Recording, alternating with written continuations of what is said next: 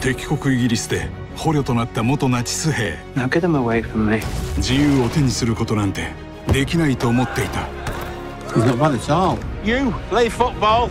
You've gone mad. He's a fucking German.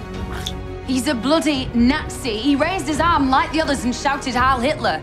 Margaret, I'm not some kind of monster. I'd rather have danced with you than stood on the battlefield.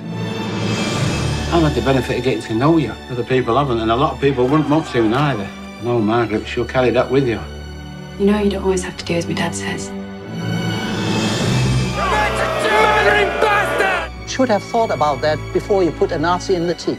どんな壁が立ちはだかろうと愛は過去を乗り越え未来を変えた See, he's just someone doing his best to put the past behind him. ナチス兵から敵国で英雄になった男の真実の物語キーパーある兵士の奇跡